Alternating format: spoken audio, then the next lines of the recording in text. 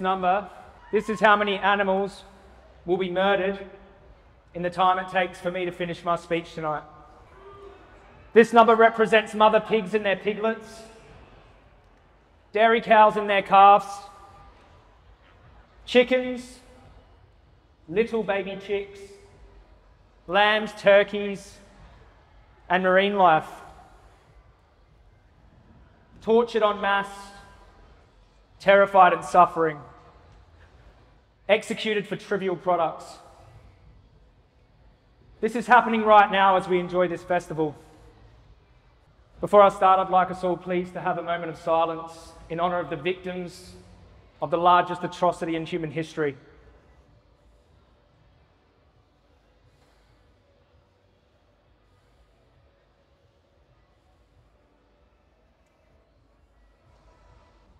These animals are not just a number, a barcode, or an ear tag. They're individuals, each having their own subjective experience. This was one of them. So were they. So were they. Sometimes we can get caught up on the numbers because they're so large, which annually is in the trillions. It's just incomprehensible. But keep this insane number in the back of your mind throughout my talk. So, my name is Joey Armstrong, and you might know me online as Joey Carbstrong. I'm a vegan animal rights activist.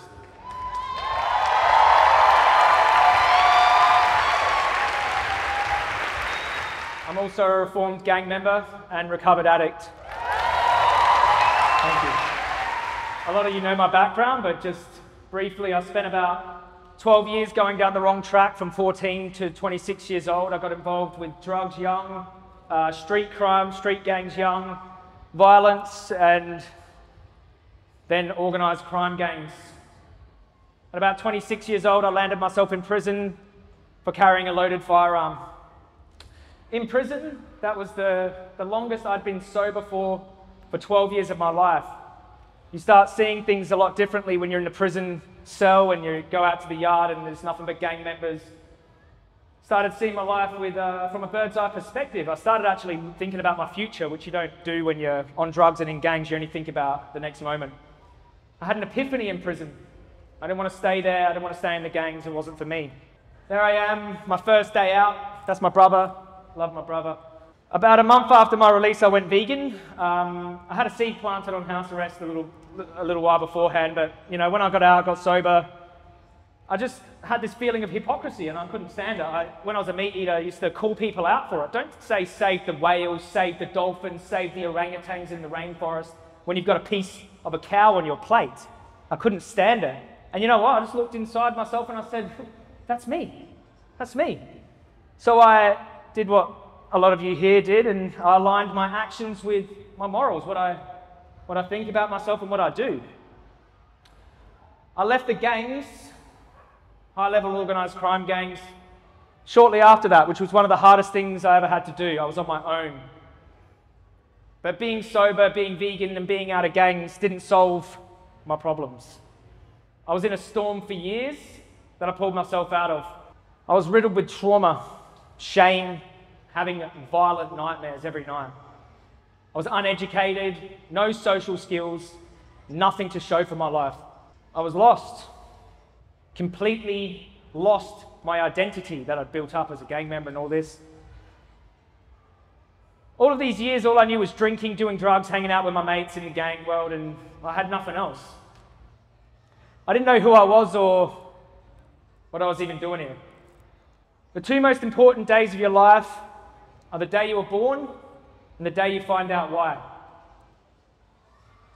I spent years causing negativity, violence, and pain for my family.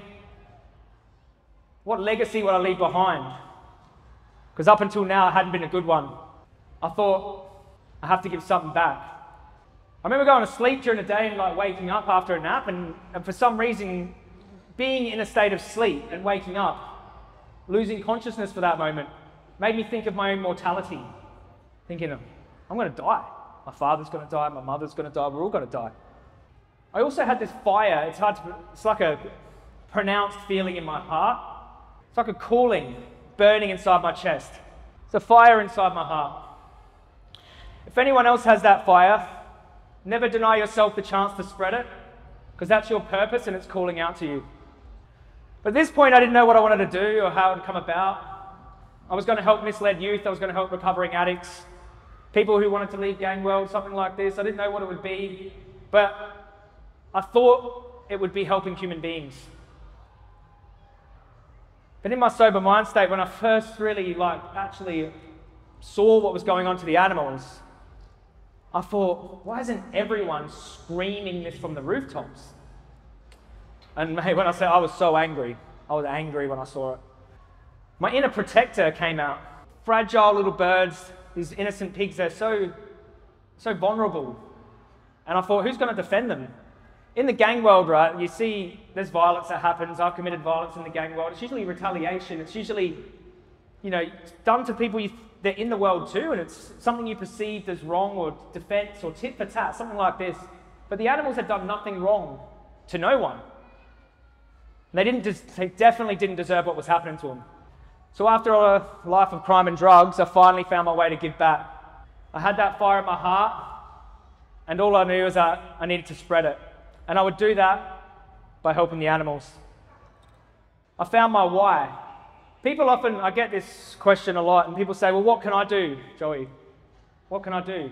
How can I be an activist? Things like this. The more important question is, why should you do it? You don't need to know how, you need to know why. And through the why, the how will come about. The why leads you to the how. And as Martin Luther King Jr. said, you don't need to see the whole staircase, you just need to take the first step. This is my first, uh, so my how turned out to be social media, but that just comes to me knowing my why. This is my first video, 2015. Uh, I'm a lot different now. If you look at it, it's pretty, actually pretty funny. Filmed on a crappy little iPhone 5. No public speaking skills. I was very anxious to put myself out there. I remember the gangs and crime I come from are serious, so like, I created an alias, Joey Carbstrong. Not, you know, my last name was quite well known in the gang world, so I want to keep my identity under wraps in case my past come calling back to find me. But I didn't let that hold me back. The reason I'm telling you this is because I want you to know that no matter your circumstance, if your why is strong enough, any one of you out there can be an activist too.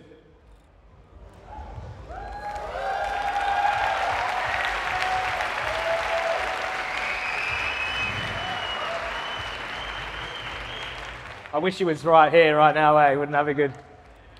I'd like to take this time to give Gary Yourofsky his flowers. Gary Yourofsky was an animal liberation activist who had a huge legacy of activism. He did activism in various forms. He served prison, prison time for liberating mink from a fur farm. And when he was released, he went on to become one of the most well known, prolific animal rights lecturers of all time. He's best known for his viral speech, the best speech you'll ever hear. If you haven't heard it, Go check it out. He's one of my all time inspirations, actually. He was a fighter, he's a great man, and he wasn't a perfect man. But none of us are, are we? He tried his damned hardest till the end until he had nothing left in the tank. In 2017, when Gary retired, he wrote his retirement letter Tag, you're it. I'm going to try to read it without getting all teary because um, this really stuck with me. And I I honestly believe um, this is one of the driving forces of why I stepped it up. So, this is the last paragraph of his retirement speech. It says, A huge, massive shout out to those who fight for animal liberation only and have always used my activism as a tool to further the cause. Because it's now your job to find people who are thirsting for knowledge, who aren't comfortably numb with all the cruelty, and edify them. If everyone did their part and converted 10, 100, 1,000 or more, a vegan world would be in reach. Just speak for the animals like you would want to be spoken for if it was you in their position. And always follow your heart when it comes to activism. Stop thinking of ideas when you can put those ideas into action. And please stop having meetings and conferences because you'll only end up discussing those meetings at the next conference before scheduling another conference to debate, discuss the previous meetings, before having another discussion to debate the meetings scheduled for the next conference, and so on. Talking, don't talk, do.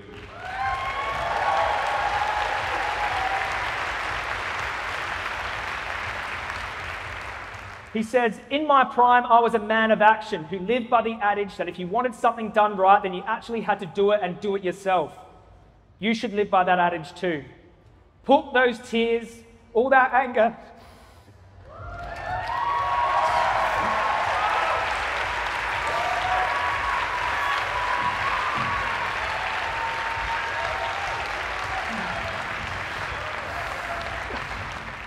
Put those tears, all that anger, and all that knowledge into action.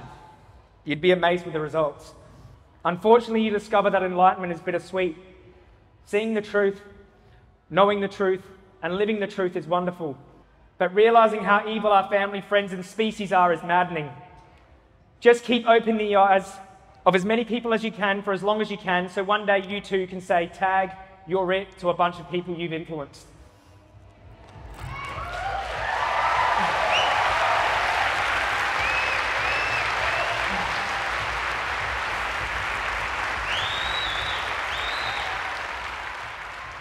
So I'm obviously one of the activists that took Gary's words to heart. His words sent me on a trajectory for my 2018 Vegan Prophecy Tour. On January 1st, 2018, I set my New Year's intention, and it was to bring the ethical vegan message to the forefront of the mainstream media in the UK. And that's exactly what happened. I had a media run in the UK that reached millions of people with the animal rights message, and it was a roller coaster of ups and downs, and I was not mentally prepared for it at all. But since then, I've been featured across TV stations, radio stations, documentaries, and have accumulated nearly 300 million views across social media, all for the animals.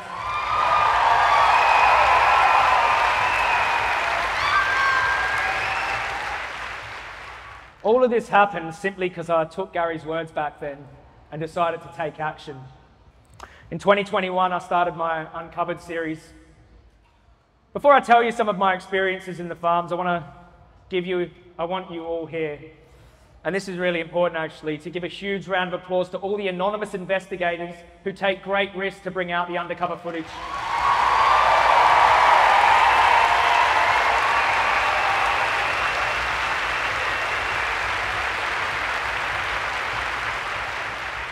They're anonymous.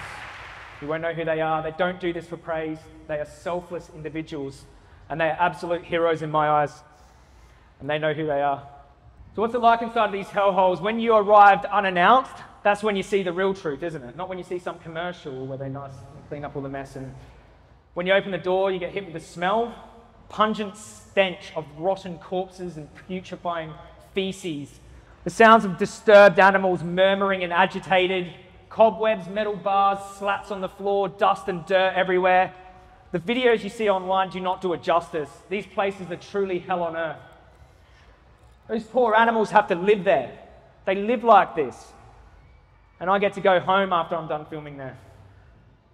This little piglet is just one of many that you'll find on the floor of factory farms inside farrowing crates, gasping for air. The moment they are born, they're born into a prison, suffering. They'll only live for a few hours, but that few hours will be pure, pure suffering. I held this little piglet in my hands, and like a little kitten, you have a feeling of helplessness and you think like what can i do to help them? Like i almost felt like i just want to close their little nose and mouth and help them stop breathing. You have a feeling of helplessness and then you look around and, and that's not the only one. There's dead piglets dying piglets all across the floor. No one no one there to help them. And then, then you realize this is happening all over the world. And this is just one story one piglet from one farm one country in the world. How many more suffer in silence all over the world and you never get to hear their stories. This is a three story mega egg farm in the UK. I've never seen anything like it. Something out of like a Matrix horror movie. Massive big fans in the front, three rows, uh, stairs inside. Insane. I was laying on the grass looking at it and it's massive. I just don't know how humans can create this thing. When you walk inside, just the birds are going crazy. They're going insane. There's tens of thousands of birds in there. You just look into their eyes and they just, they're, they're scattered. It's, it's, like an insane asylum. It really is. I could, uh, I could, there's no other way to explain it. I was so disturbed after I walked out of that place. I had no idea it was going to be like this. Chicken farms. You can't call them farms, can you? You walk through massive sheds, 50,000 birds in the shed. It's like a sea of birds. And as you walk through, you'll see Many little fragile birds like this, four or five weeks old, collapsing under the weight of their overgrown bodies, broken legs. Some of them are slowly dying on their faces. Everywhere you look, every few meters you walk, there is more. Dairy farms. It's an intensive one in the UK. Lame, limping cows, walking in their own diarrhea, bellowing out for their stolen calves who are stuck in isolating, isolation pens, which are really just prisons, not too far away from them. They can hear their own calves, and the calves can hear their mothers. Maternal trauma. Disgusting. Holding a dead animal in my hand. It's a horrible feeling, eh? Cold, stiff, dead, like no more life left in them. I picked these animals up to show the people watching this video who the victims are. Their death must have been horrible. And people think, oh, they just go to a slaughterhouse. No, they, many of them die like this. Some bodies are still warm. Some are on their final breath. You'll, you'll see them breathing and you'll walk around, document, you'll come back and they've stopped breathing. They've died while you've been there. The suffering these animals endure is beyond comprehension. And when I started visiting these places, it's a real reality check. We've all seen the footage, but being inside with the animals is just it's a whole nother level. This is 2017. This is a halal slaughterhouse in Bali. I was meant to do a, I was actually going there to do a vigil because I was, you know, I was like into the save movement at this time. And, and I thought, you know, one step better would actually be just going inside. This beautiful cow was slashed across the throat. The blood sprayed right past me here, and they were vomiting out of the hole in their neck. The most disturbing part about this was watching their face get skinned, nose cut off, eyes cut out. This is what happens inside a slaughterhouse. The slaughterhouse in Austria here, 2018. This was the morning of my birthday. We spent hours sitting with these pigs in the holding pens outside as they nuzzled us. When inside, those same pigs were stunned and dismembered. One of the most disturbing parts was watching one of the pigs that we were just interacting with get drop sawed down the center of their body, and I could see inside one of their heads. It was one of the most at that time, one of the most traumatic things I've ever seen. Now, I'm not, I'm not saying I'm the victim here. I'm just, this is what the, these places are like. They're, they're, they're horrifying torture dungeons and they're, they're just sickening places. And people talk about these humane places. I don't know, who saw this video here? Anyone see this? This is a local slaughterhouse. They only slaughter the, the animals from, from local farmers, so the smallholders, you know, owned by this grandma with the help of my investigators, we left cameras inside there. Now, what I found searching through the footage were terrified cows struggling so hard to escape that knock box that they ripped their own horns off. A guy, this oh, bastard here, he's got this cow by the nose. He's grabbed this cow by the nose, swearing at this cow, shot them in the head, cut the cow's throat, and while the cow was still moving, decapitated this cow, threw the cow's head across the slaughterhouse floor. Family run, humane, local slaughterhouse. I actually went back to talk to that grandma. She didn't know that I had the, uh, the footage in my pocket. So I went back and go, oh yeah, what goes on here? She assured me everything inside was all humane. All lies. All of these experiences bearing witness Help me to understand the suffering and brutality animals endure in a much more visceral way. These experiences help me be a stronger voice for the animals. Tulip. So in May this year, we exposed one of the most notorious gas chambers in the UK, this Pilgrim's Pride in Manchester, formerly known as Tulip Meats. Notorious because you can hear the pigs screaming from the sidewalk. Um, I'd spent a few vigils there and spent a few times hearing the pigs screaming from the side of this place, and uh, I knew what was going on there. It's probably the same thing that goes on in all gas chambers, something horrifying. But and lo and behold, the footage that we obtained was harrowing and disgusting, shocking. The footage received 2 million views across my social media in the first week. Guardian did an article on it and uh, say the Pilgrims, Pilgrims Corporate weren't very happy about it. Went back to the slaughterhouse to apply some pressure this, this guy here on the right, he's been working there 20 years. He gaslights all the activists out the front there, tells you, no, those screams aren't the gassing. Those screams aren't pigs suffering. Those screams are the pigs like mating together or just playing rough or whatever. Gaslighting. And, you know, it felt really good to grab that footage and go, hey, you've been lying to us this whole time. Now we've exposed you. Corporate staff tried to deny it was their chamber, that, but they couldn't deny it to me because I was the one who I was the one who put the cameras in the chamber. Me and my team. Pilgrims knew this footage was part of a much wider investigation expose coming to light in a documentary that I've been working on because I had to send them a right to reply. Some allegations in the film. There's more. There's more than this. So they were under a bit of pressure. And I know for a fact that they were, they were not happy about this Guardian article. I can't tell you how I know, but I know. They weren't happy about it being up, but they couldn't do anything about it. Two weeks later, Pilgrims UK announced they'd shut it down.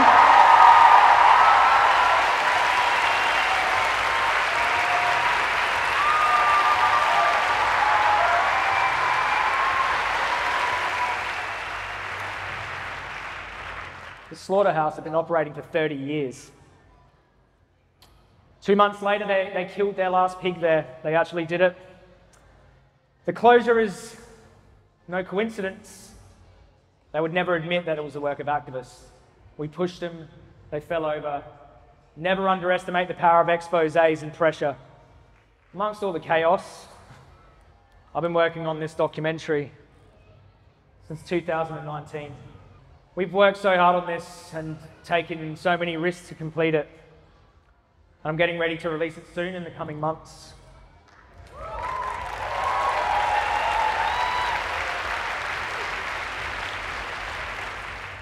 This is the biggest thing I've ever released, and, uh, but to be honest, it won't have the effect it needs without your support, so I need your help to promote this film. I can't do it without you all. What is activism? Let's read the definition, shall we? Activism is designed as the policy or action of using rigorous campaigning to bring about political or social change. Activism comes in many forms. Anyone can do whatever form of activism their heart tells them to. The goal of this speech is not to tell you what kind of activism to do.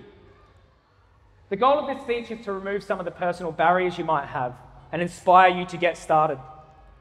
Many things can hold activists back, but this is, this is some of the things I believe. This, this is what helped me. The fear, the fear of criticism.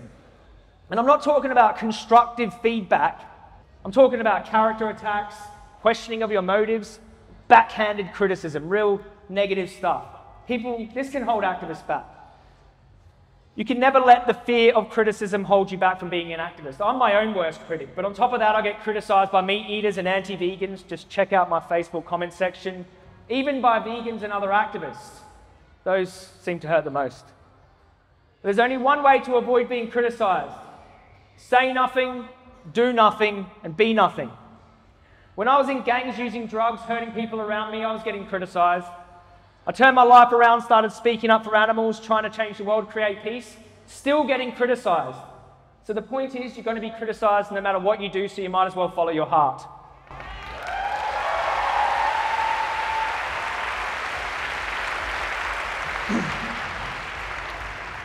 to be an activist, you, you do have to have courage. But courage is not the absence of fear. Courage is having fear, feeling the fear, but doing it anyway. One way of tackling the fear is by having perspective, which is why I showed you what those animals are going through in those farms and slaughterhouses. I want to tell you a story about my, I think it was about my third street interview. I was one of the first people to do uh, vegan street interviews on, online back in 2015. I started that, and I had incredible social anxiety, right? And, I, and people might think, oh, street interview, who cares, dude? Like, what are you talking about? There's heaps of more crazy forms of act. For me, it was a big deal. Come out of gangs, had social anxiety. I only socialized when I was drunk or on drugs.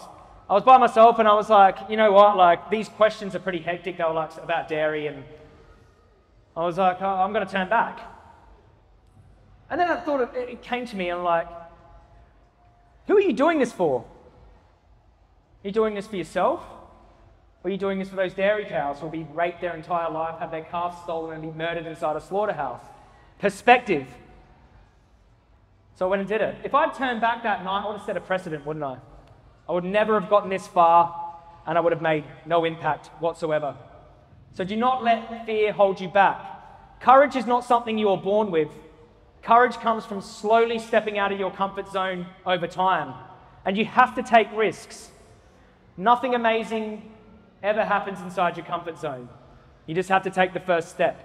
This is the best activism advice I got for you. It's like simple. I didn't come up with this, but I'll, I'll use it because I think it's on point. Start where you are, use what you have, do what you can, and don't give a damn what anyone thinks about it.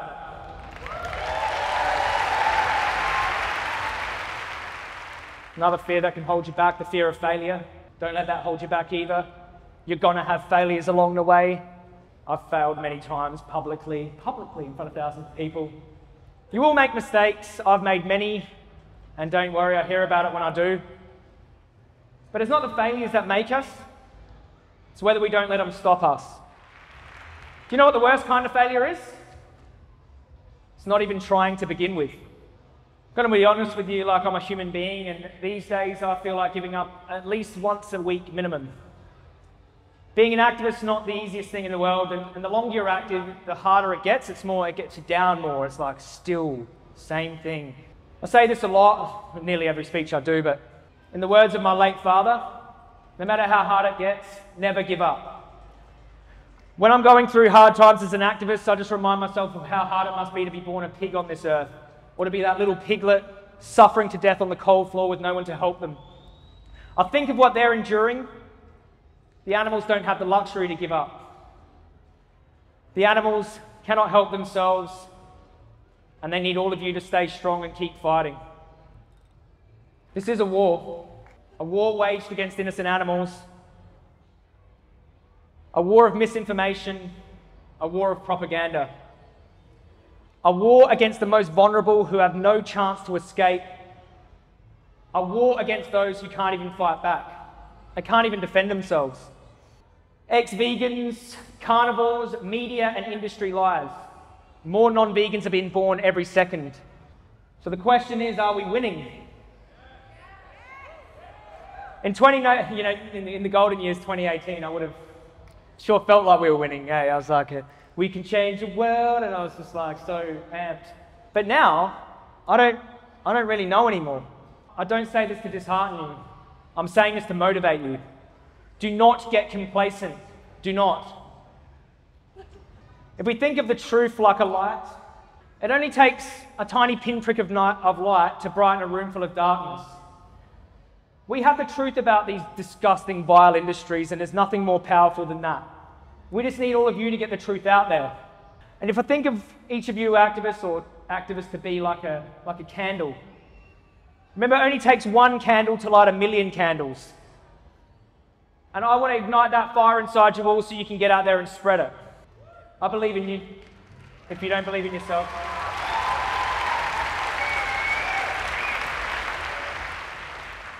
I think about this all the time, mate. Just a bit of a break for a second. I'm doing this speech because these are the things that I think about. This is what I need to hear, and that's why I wanted to share this, this kind of speech with you. Life is fleeting. What if I told you that tonight was your last night on earth? Would you be happy with what you've achieved? Would you have tried a little harder if you had another chance? Would you have let go of the fear that people might judge you would you have stepped outside your comfort zone just a little bit more? Every single day of my life, I confront my own mortality. I'm going to die.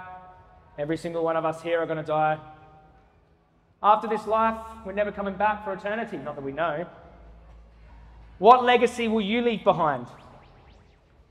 The realization of my own mortality is what motivated me at the start, along with the plight of the animals, and my impending death is what still motivates me to this day. 90 million animals, 90 million feeling, sensitive, sentient beings slaughtered against their will in the time it's taken you to hear this speech. What are you going to do to reduce this number in our lifetime? No one individual can do everything, but everyone here can do something.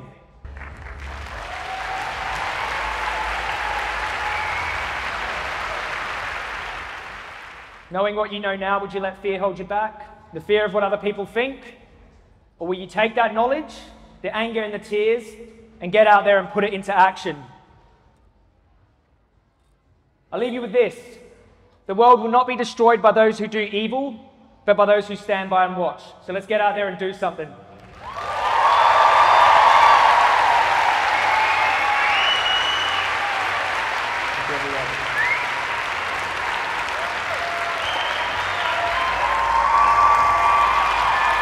Bless you. Bless you.